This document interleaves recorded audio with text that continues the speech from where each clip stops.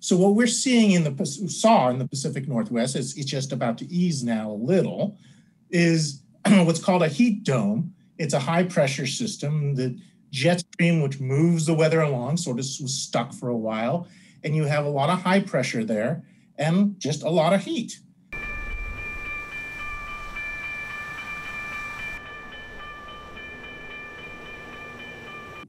You know 97 degrees which is what we're supposed to get in the next few days in washington. That's horrible but it's not 116 or 115 which is what portland oregon got. And it's unusual.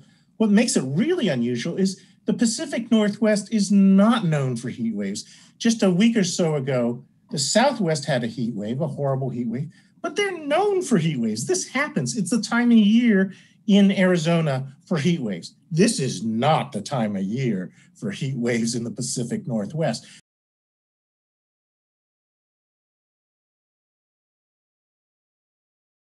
Also, with climate change, you get much more intense downpours and much more intense drought.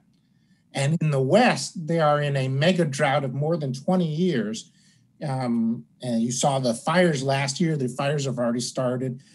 conditions are horrible this year for the fires.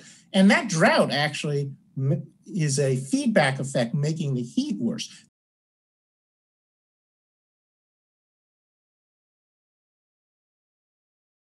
When you have a drought, it makes temperatures hotter. When temperatures are hotter, it makes the drought worse. And so we're seeing that in the West, less so in the Pacific Northwest, but it's still there. So that's another factor here. So you have a freak condition, freak weather condition that happens maybe once every thousand years. You have climate change, you have a drought, and it's all three together that is making it hotter in Oregon than it has ever been in Oklahoma, Texas.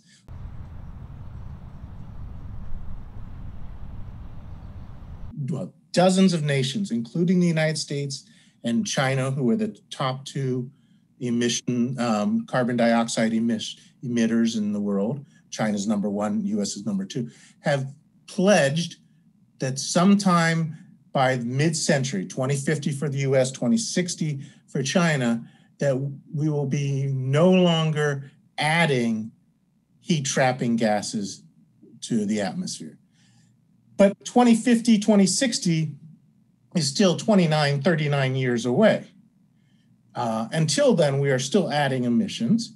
And what happens now doesn't get turned back. So these negotiations aren't about improving now, they are more about preventing much worse in the future.